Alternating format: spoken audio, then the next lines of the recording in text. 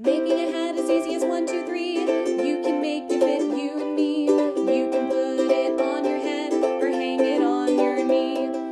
Watch this video and you will see just how easy it can be. Okay, so we're back. This is the marathon hat making day of the century. I'm kind of feeling a little blitzed at this point. I usually break these up into different classes. So I'm, I apologize if I'm a, a little crazy. Probably no crazier than usual, for sure.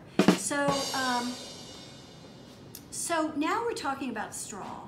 And straw, like I said uh, in the felt session, straw has very similar properties to felt, especially if it's natural. What is straw? It's grass. I kid you not, it's grass. Whereas wool is a protein fiber, straw is a plant fiber. And just like protein fibers, plant fibers will stretch and mold if they're natural. And a lot of straw hats these days have polyester in them.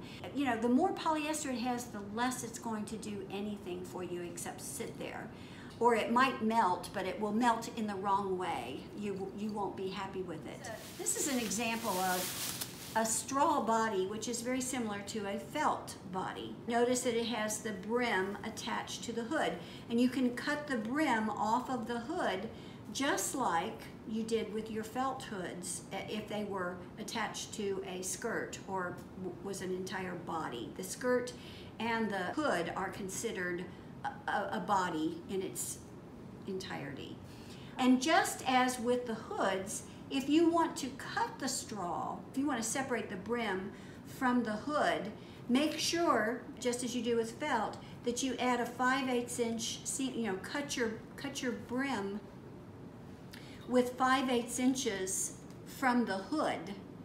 Does that make sense? 5 8 inches from the, don't mm -hmm. cut it right here at the crease because you need a, a neck that you can then either place on top of the hood or slip that neck inside the hood like you did with your sailor hats. Mm-hmm. And the only difference is that straw, because it's a grass, before you cut the straw, you want to machine stitch on both sides of where you're going to cut.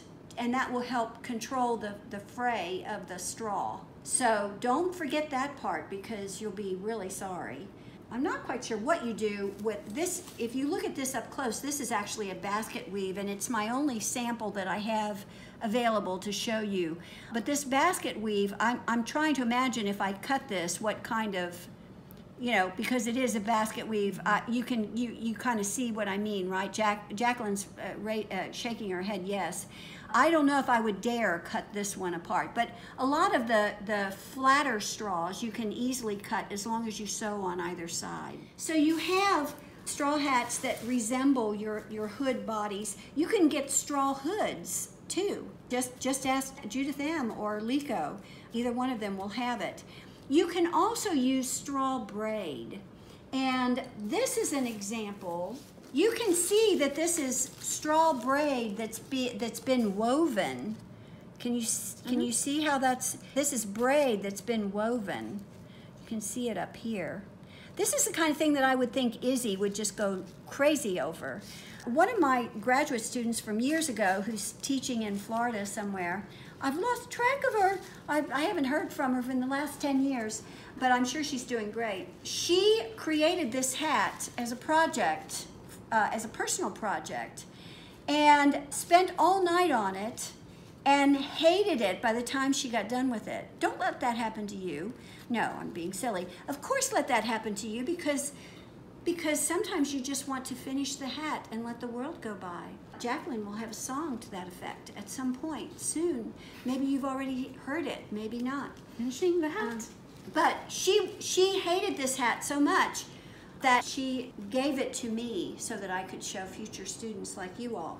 But I've, I've loved it. I mean, I think this looks like something out of Shakespeare. Once you see it on, it looks much better on than off. Can you see how fabulous that is? Mm -hmm. Especially when you cock it, don't forget to cock.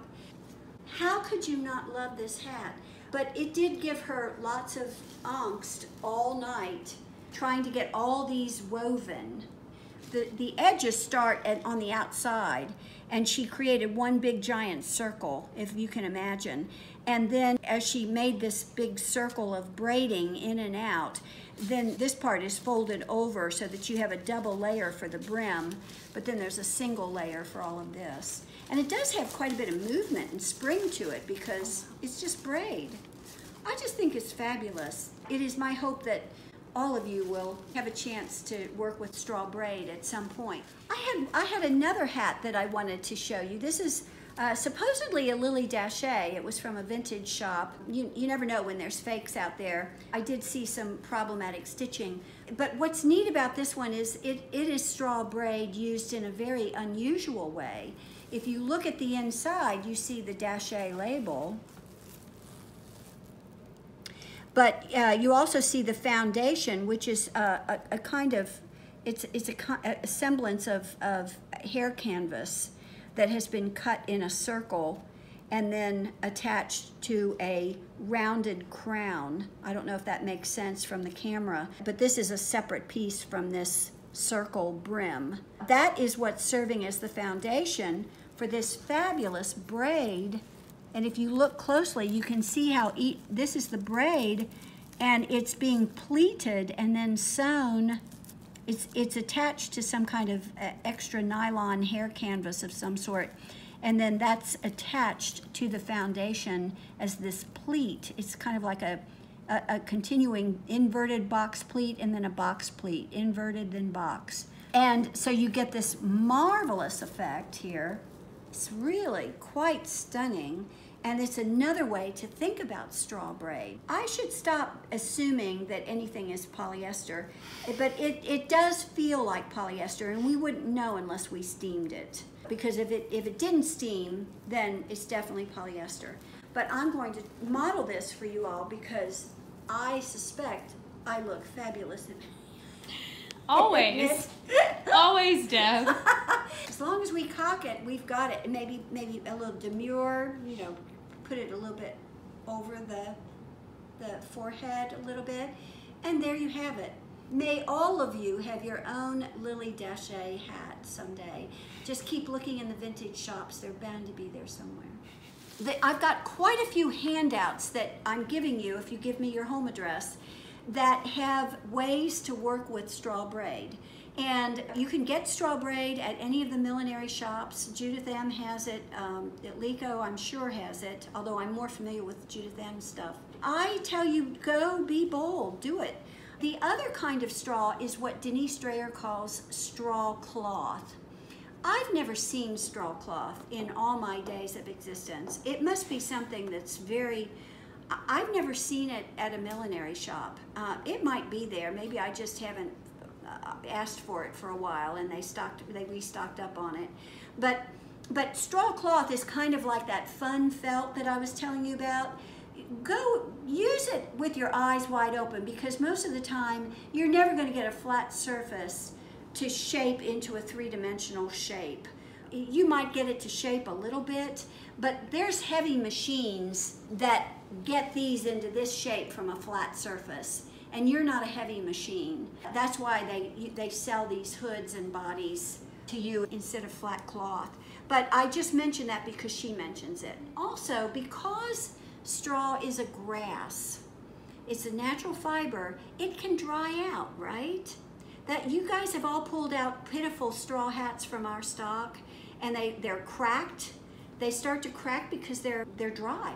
And so there's a point when if they crack too much, they're just broken. But if you get them before, it, you can kind of tell when they're starting to get really poopy looking. That's one of the things we do with our renovating hats project, which we won't be able to do for this class.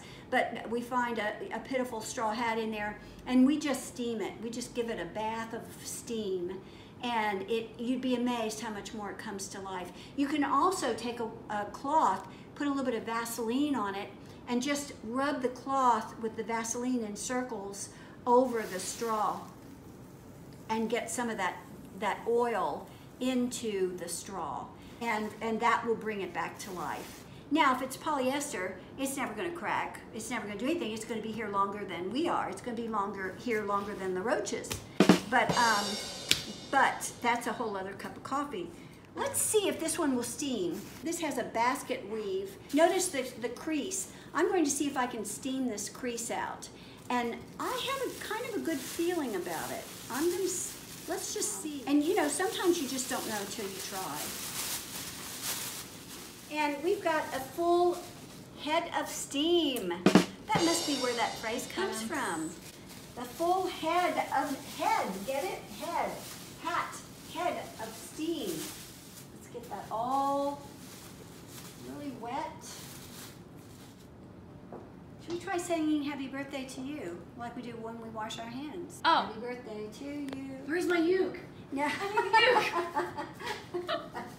Happy okay. birthday to you. Oh, oh, oh, it's hot. It's hot, hot. Deb Bell, the mad scientist. So I'm not gonna do center front and center back. I'm just gonna put this on because because I am. Okay, so let's see if we can get this this crease to come out of this.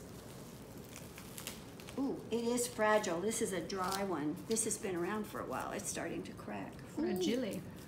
But it is a stretchy one, so it just needs a lot more love. It needs some steam all over. It needs a steam bath. But you can see how we're getting rid of that crease. It's saying, yes, I love it. I love it.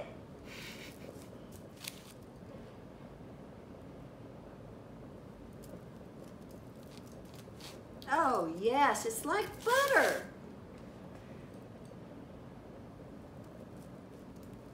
Oh, it's saying yes.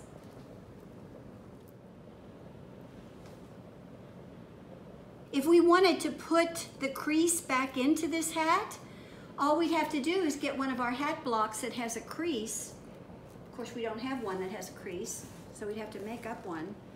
And we could get this rounded shape. Now, see, it's fragile. I, I see some straw that's breaking. This has been in my office way too long. And you can see how flexible it is. I mean, you don't need to put sizing in there. I, I really encourage you not to fool with sizing when they kill brain cells.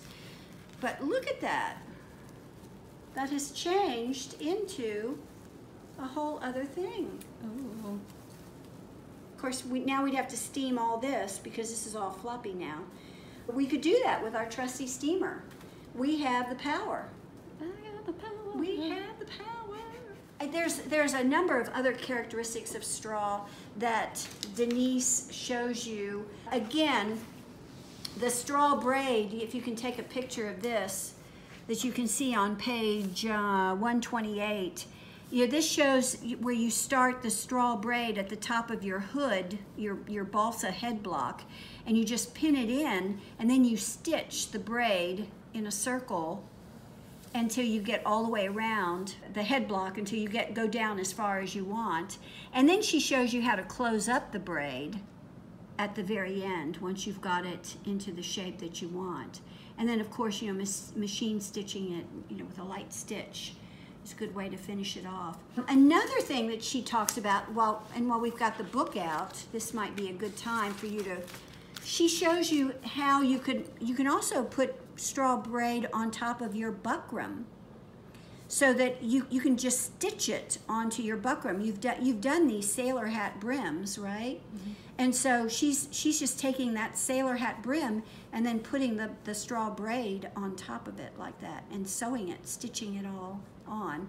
Here's showing how to wrap that around here. But you could also wrap it around the crown of the of the buckram as well and have something very nice. Again, your straw is delicate. It can be brittle. It can get brittle very quickly.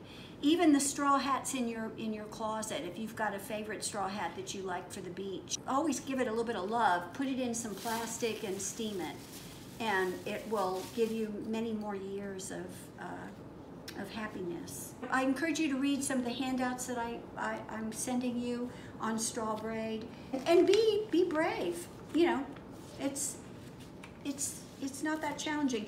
Denise De- uh, Dreher gives you a formula for how to calculate how much straw braid you need depending on the shape of your hat. So you know you might you might want to think about that if you feel nervous about estimating it yourself. And I'm looking through my notes here. Uh, that's probably the most, the most important aspects of working with, with straw.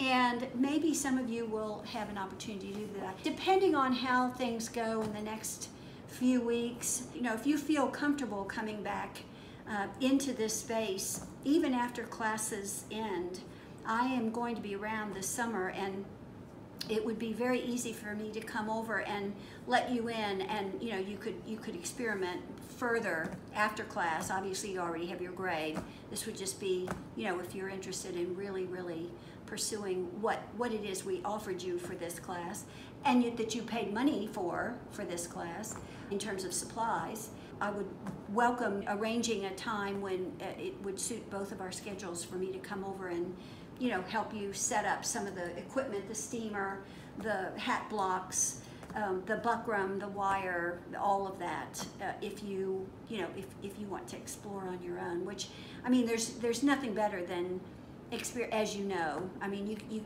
you can look at a video, you can read a book, but until you actually start doing it yourself, you really, you know, it's hard to master it. It's hard to feel felt until you felt it hot.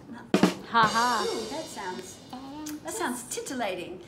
Um, so uh, I'm getting a little kooky here, so I'm going to say sayonara, and we will get through this. And I I do wish you all many many happy hours of hat making.